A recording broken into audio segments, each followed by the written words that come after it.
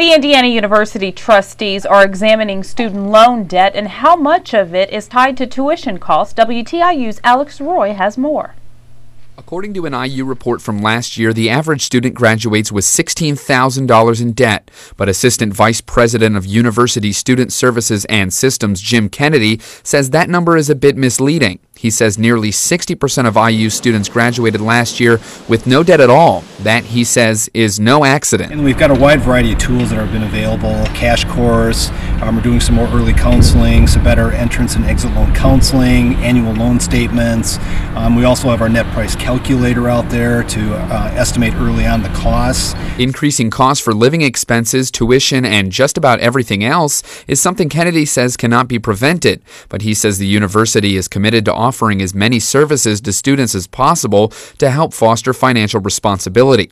Senior finance major Jason Wirth is in more debt than the average IU student. I mean, I think that there definitely are ways that students could live more frugally, but it's not as if students are in general living extravagant lifestyles to begin with. So the question is, what do you look to cut?